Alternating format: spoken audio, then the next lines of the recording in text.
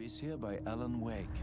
Die Polizei ist hinter mir her. Sheriff, Wake ist auf der Flucht. Ich bin hinter ihm her. Wenn Sie mir weismachen, dass dieser Schreiberling meine Deputies umgelegt hat? Ein Thriller, den ich geschrieben haben soll, wird wahr. Das Genre der Geschichte scheint sich zu ändern.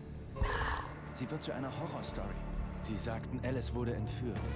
Das war eine Lüge. Wir haben seine Frau nicht. Wir wissen nicht mal, wo sie ist. Ihr angeblicher Entführer wurde vom Dunkel verschlungen, bevor es mich angriff.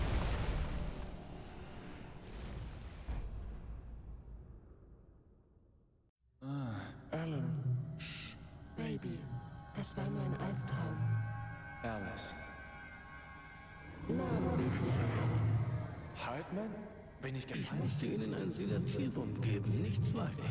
Sie hatten wieder einen heftigen Schub, Alan. Was? Es ist jetzt äußerst wichtig, dass Sie ruhig bleiben. Nicht, dass Sie wieder einen Schub erleiden. Sie sind Patient in meiner Klinik und Sie sind es schon eine Weile lang. Durch den Schock über den Tod Ihrer Frau sind Sie geisteskrank. Nein, Sie, Sie lügen. Sie leiden an verschiedenartigen Symptomen einer undifferenzierten Schizophrenie. Mist, Kerl. Ich bringe Sie um. Ist schon gut, Alan. Lassen Sie los.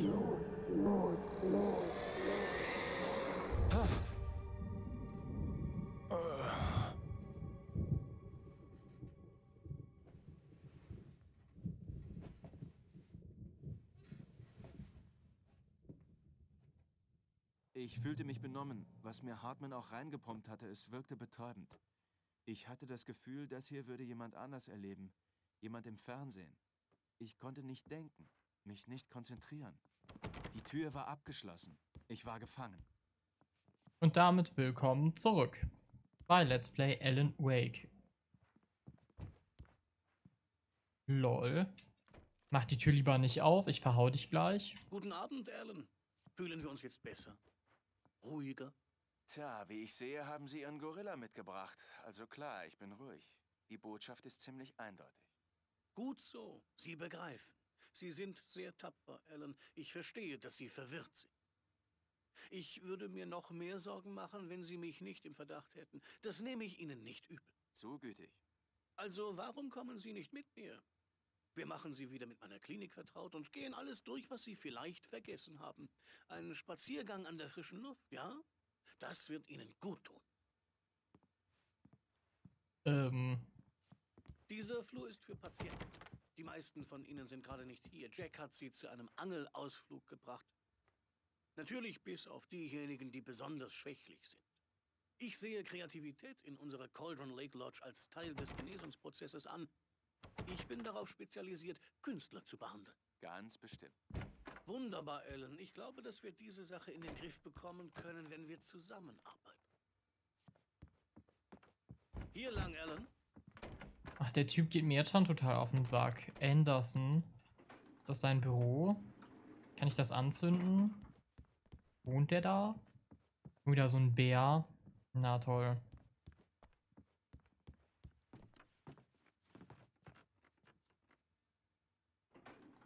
Also, Alan, aus meinen vorherigen Erlebnissen mit Ihnen weiß ich, dass ich nach einem Vorfall schnellstmöglich zum Kern der Sache kommen muss. Also sage ich es direkt. Alice ist tot. Nein.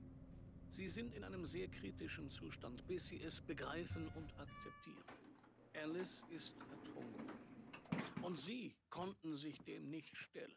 Sie leiden an Halluzinationen, paranoiden Wahnvorstellungen, sind von Licht und Dunkelheit besessen, von einem Gefühl, das um sie herum alles durchdreht, auch ihre Gedanken und Träume.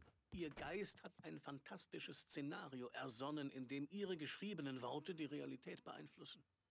Alice sei entführt worden und übernatürliche Mächte versuchen, sie aufzuhalten. Hier entlang, Alan. Ich wollte keine weitere Dosis, also spielte ich mit. Er log ganz sicher. Aber da ich unter Medikamenteneinfluss stand, musste ich kämpfen, um ihm nicht zu glauben. Das ereignet sich alles nur in ihrem Kopf. Abgesehen von dem tragischen Unfall mit ihrer Frau ist niemand ums Leben gekommen. Ihre Wahnvorstellungen sind nur eine Manifestation ihres Unterbewusstseins, das versucht, sie vor der zu schmerzlichen Wahrheit zu beschützen. Nur wenn wir die Fantasie bekämpfen, wird sie nicht zurückkehren. Ich weiß, Ihr Instinkt befiehlt Ihnen, sich gegen mich zu wehren. Aber denken Sie darüber nach. Ergibt es nicht viel mehr Sinn, dass Sie sich diese abstruse, übernatürliche Verschwörung nur ausgedacht haben? Sie sind ein skeptischer Mensch, Alan. Wir wissen beide, alles kann logisch erklärt werden. Ähm, nein.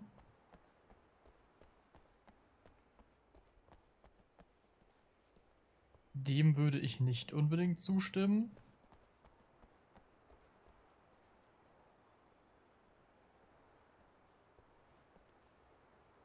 Meinte er nicht eben auch Ich mal, kann mich an diesem Ausblick einfach nicht satt sehen. Alice wäre ertrunken? Und dann meinte er irgendwie, uns lag der Cauldron Lake. Ich konnte den Mirror Peak auf der anderen Seite ausmachen und ich glaubte zu erkennen, wo Divers Isle bei meiner Ankunft mit Alice gelegen hatte. Jetzt gab es dort nur Wellen. ähm, also ich bin mir nicht ganz sicher. Aussieht, zieht ein Sturm auf. Komisch. Ich kann mich nicht daran erinnern, etwas darüber im Wetterbericht gehört zu haben. Naja, egal. Hier entlang folgen Sie mir. Meinte er nicht irgendwie einmal, sie wäre ertrunken und dann wäre sie beim Autounfall ums Leben gekommen oder so? Ich bin mir nicht ganz sicher, vielleicht habe ich mich auch verhört. Jetzt haben wir die Kontrolle. Jedes Mal, wenn Sie einen Rückfall erleiden, wird es schwieriger für Sie, aus den dunklen Tiefen Ihrer Einbildungskraft wieder aufzutauchen. Was in Anbetracht Ihres Berufs nicht überrascht. Einbildungskraft ist schließlich Ihr Handwerk. Nach all den Albträumen, die Sie durchlitten haben, sollte Sie dies enorm erleichtern. Falls nicht, dann fragen Sie sich, wieso nicht? Weil ich lüge? Oder weil Sie nicht zugeben wollen, dass Sie nicht bei Verstand sind? Antwort A bitte. Natürlich, dass Sie mich für Ihren Feind halten. Das gehört zur Ich ließ ihn reden. dazu. Hartman Schließlich bin liebte ich offensichtlich den Klang seiner Stimme. selbst Seine Worte Welt hallten in meinem. Kopf wieder. Aber das kann Ich bohrte mir die Fingernägel alleine in die Handflächen, um mit. klar zu bleiben. Wenn Sie das akzeptieren, können wir Hand in Hand die Reise zu Ihrer Heilung antreten. Da versteckt sich doch Kommen mit. jemand. Gehen wir hinein. Oh, Das ist der Eingang zum Bürotrakt. Zutritt nur für Personal. Als Sie hier eingetroffen sind, waren Sie von meinen Trophäen beeindruckt. Ich liebe die Jagd, die freie Wildbahn, der Mensch gegen die Natur. Ginge es wunderbarer? Beängstigend, beängstigend.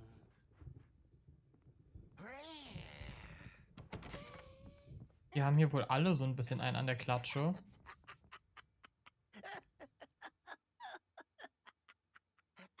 Ich bin ein schlimmer Albtraum. Du solltest Angst haben. Willst mir nachts nicht über den Weg laufen. Glaub mir. Bitte, Emerson. Mr. Wake ist schon verwirrt genug. Ja, du möchtest, dass ich weggehe, damit du keine Angst mehr haben musst. Aber du kannst nicht frei über deine Träume entscheiden. Emerson, Okay, Entschuldigung, Entschuldigung. Bäh. Das ist Emerson. Ich darf sagen, dass wir bei ihm tatsächlich Fortschritte machen. Er arbeitet Ellenbogenschlag. Videospiel. Ja. Eine lächerliche Tätigkeit gewesen. Und doch bedarf sie eines kleinen Kopf. kreativen Aufwandes, weswegen er für meine Therapiemethoden empfänglich ist. Ach was.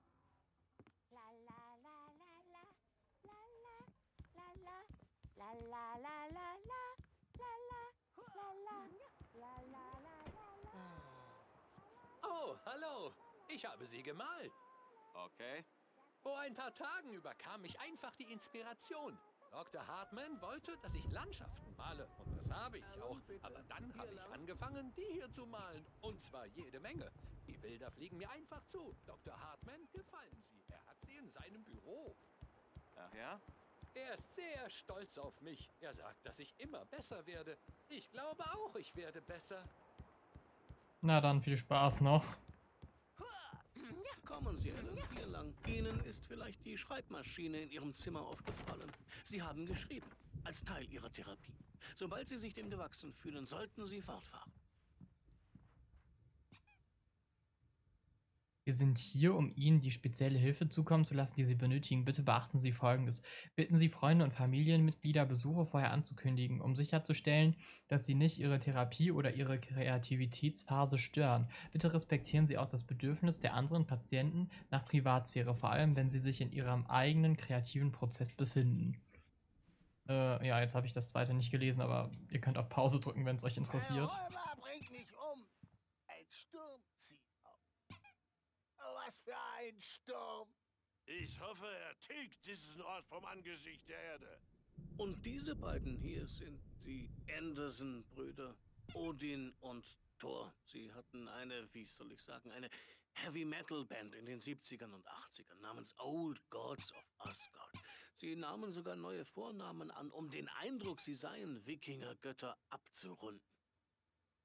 Nach der Trennung der Band haben sie auf einer Farm in der Nähe gelebt. Sie befinden sich in einem, äh, nun ja, fortgeschrittenen Stadium der Demenz. Man kümmert sich um sie, fast liebevoll, möchte ich meinen. Mehr kann man nicht für sie tun. Ich fürchte, ihr Rock'n'Roll-Lebensstil hat Spuren hinterlassen. Irgendwie kommen, kommen mir die beiden ein bisschen bekannt vor. Oh, das reicht nicht. Ich bedauere, das Gespräch beenden zu müssen, Ellen. Der Strom scheint zu schwanken. Ich sollte mal nachsehen. Wir reden später weiter. Gehen Sie doch so lange auf Ihr Zimmer zurück und versuchen Sie zu schreiben, wenn Ihnen danach ist. Es wäre wirklich das Beste. Meinen Sie nicht? Ich würde ihn gerne schlagen mit einem Hammer. Oh, er würde nur zu gern unsere Geheimnisse rauskriegen, aber er hat keine Ahnung. Er ist nicht verrückt genug. nicht so wie wir, Kleiner. Ja! Ist hier Voraussetzung, Kleiner. Wer sonst könnte die Welt verstehen, so wie sie jetzt ist? Nur ein wirklich Verrückter kennt das Verrückte. Sowas Vernünftiges habe ich lange nicht gehört. Vernunft. Du bist in Ordnung, Tom. Hey, wir mögen ihn, was, Bruder? Er muss zur Farm gehen. Die Anderson Farm. Valhalla. Wir haben alles aufgeschrieben, falls wir es vergessen. Ein Crashkurs. Alles, was du wissen musst, um wieder klar zu denken. Du musst die Botschaft finden. Hier, Kleiner, hier ist was für dich. Hab dieses Zeug nicht vertragen. Aber ich hab's gerettet vor diesen Bastarden. Ähm, Mein Kopf wurde klar. danke. Oder ich versank wieder in meiner Fantasie, wenn es nach Hartman ginge. Ich war überzeugt, dass er mich anlog, und zwar durchweg. Verrückt oder nicht, die Andersons waren vertrauenswürdiger. Wenn ein Al Das glaube ich halt leider auch. Ich brauche hier vielleicht später ein bisschen Hilfe. Der Sturm wird, du weißt schon, wen ausflippen lassen. Du kennst es ja. Klar, der Doktor will, dass ich auf Wake aufpasse, aber ruf mich, wenn Sie aufmüpfig werden. Mache ich, Birch. Hey, Wake! Tun Sie Dr. Hartman doch den Gefallen und versuchen es mal mit dem Schreiben. Die Maschine steht in Ihrem Zimmer. Sie kommen über die Treppe dort zu Ihrem Zimmer. Ah ja, danke für die Info. Lustig finden, aber es sollte gar nicht darum gehen. Und jetzt geht's doch um Fokuhilas. Und wenn eine Szene in Zeitlupe ist, nennen Sie... Puh. Wo sind wir hier gelandet? Irgendetwas stimmt nicht. Ich bin nicht mehr ich. Ich kann kaum denken. Ein Schatten ist in meinem Kopf.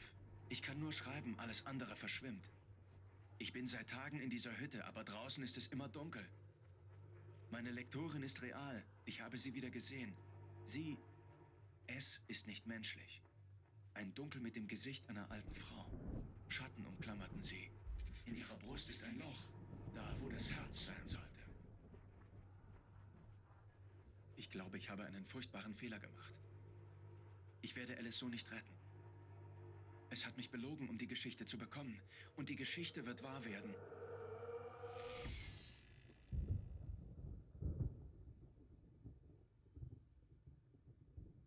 Das war weird. Ähm. Hm.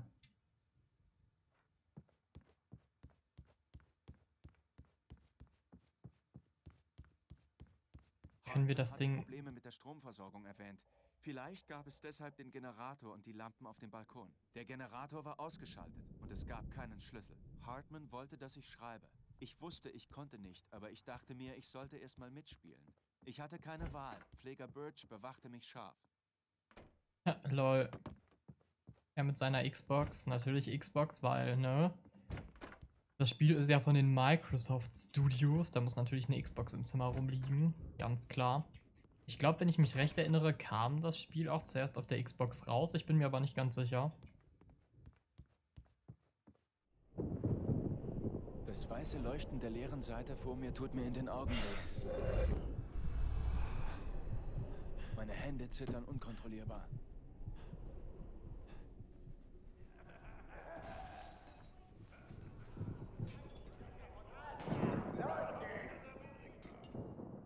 Hey Wake, Sie bleiben hier. Ich sehe nach, was los ist. Machen Sie einfach mit dem da weiter. Und kein Ärger, okay?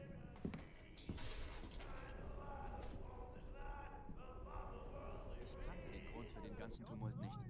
Aber darin lag meine einzige Chance, hier rauszukommen. Wo hat er den verdammten Hammer her?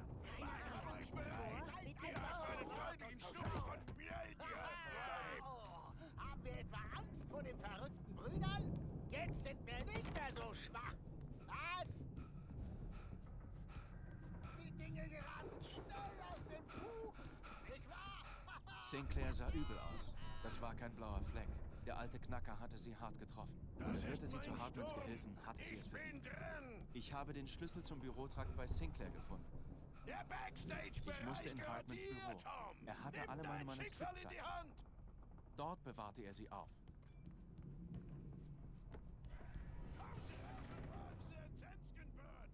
Okay. Irgendwie lustig, dass die den jetzt ausgerechnet eingesperrt haben. Laut Beschriftung auf den Bändern handelt Also, es sich Mrs. um Wake, Hartmans Mitschnitt. was können Sie mir über Allens Probleme Auf berichten? einem der Bänder stand Alice Name. Einen Moment lang stockte mein Auf Atem. den Partys ist er ständig so von Zorn erfüllt. Er wird gewalttätig. Er. Ihnen gegenüber? Nein, nicht mir gegenüber. Nein, niemals. Ich. Manchmal wünschte ich fast, Ellen würde mir eine scheuern. Denn das würde wenigstens zu einem Gespräch führen, dem er sich nicht einfach entziehen kann. Aber nein. Er, Ellen, schläft nicht besonders viel. Und die Arbeit, naja, er schreibt nicht. Gar nicht. Er sitzt nur stundenlang da und wird immer frustrierter. Und ich kann nicht mit ihm reden. Nun, Mrs. Wake, was würden Sie ihm sagen, wenn er zuhören würde? Ich weiß nicht.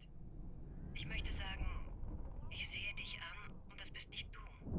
Nur irgendein Fremder, der dir ähnlich sieht. Er sieht mich durch deine Augen an. Und ich mag ihn nicht besonders. Und jetzt geht alles den Bach runter. Aber sagen Sie das denn nie? Nein, nein. Ich habe es versucht, aber er hört mir nicht zu. Er ist zu sehr in seine eigenen Probleme versunken. Redet immer über etwas anderes.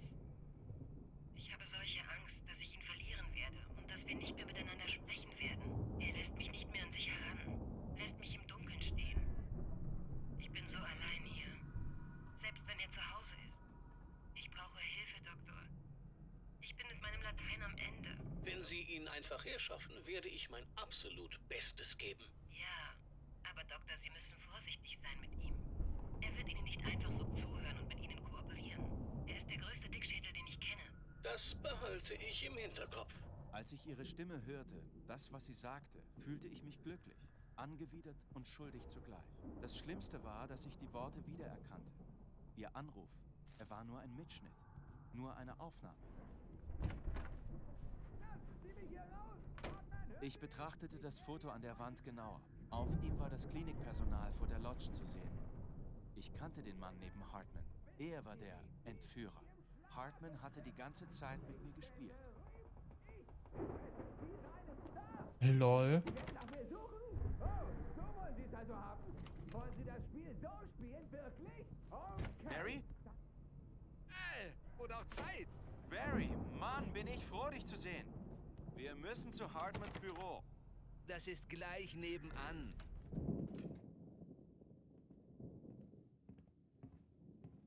Das hier sind alle Seiten, die ich bei mir hatte. Und mehr.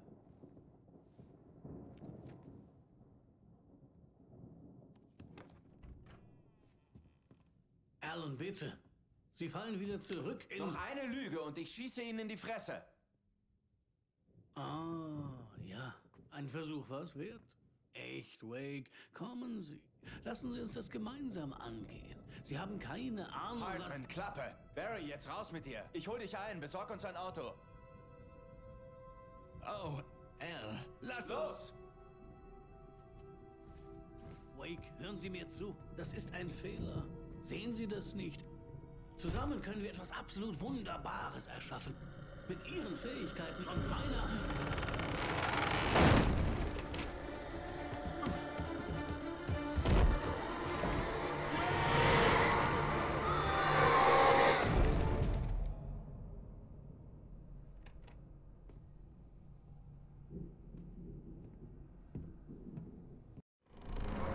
Lol, wie er sich einfach so ein bisschen sogar gefreut hat. Das Dunkel würde mich in Kürze haben. Ich musste einen Ausweg finden. Oh, da sollte ich eventuell nicht reinlaufen.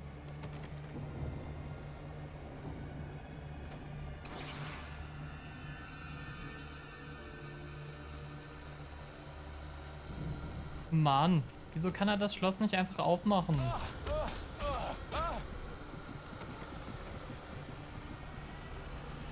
Ich verstehe gerade den Sinn nicht, wenn ich ehrlich bin. Das Schloss öffnen. Ah, ich muss so einen Knopf drücken. Warum sagt man mir das denn nicht? Au.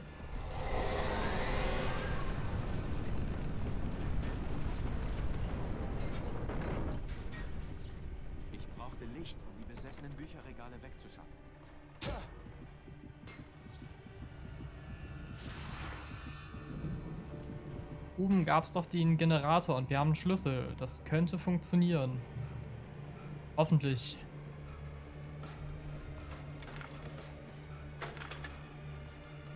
Mann.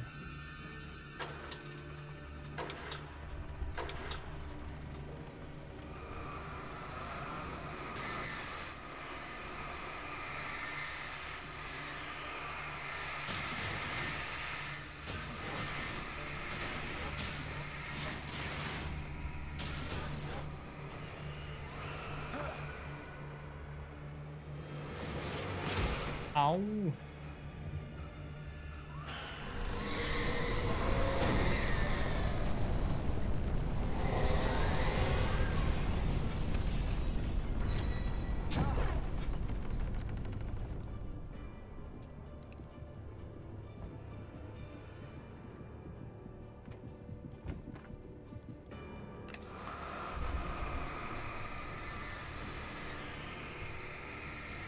Na komm schon.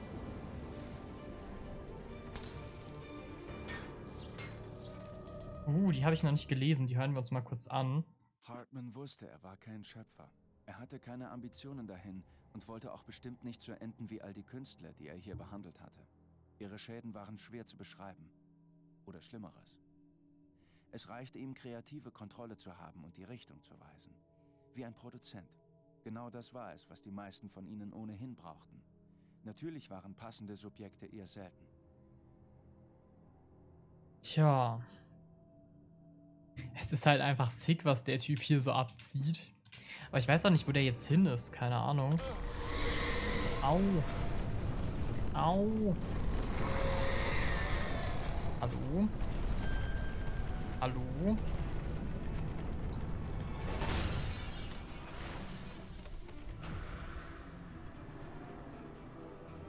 Jetzt verstehe ich gar nichts mehr.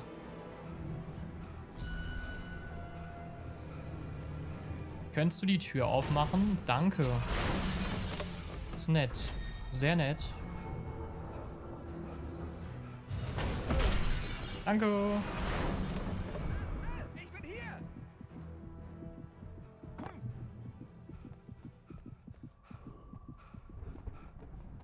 Ich hab das Auto, aber das Tor ist zu. Du musst durch das Heckenlabyrinth dort drüben.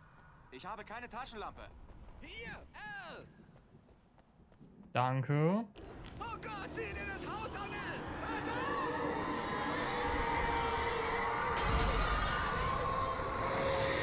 Na toll. Danke.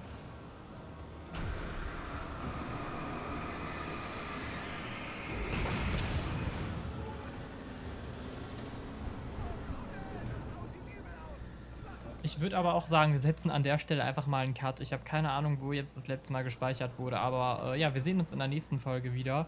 Dann werden wir mal gucken, ob wir es durchs Heckenlabyrinth schaffen. Bis dahin.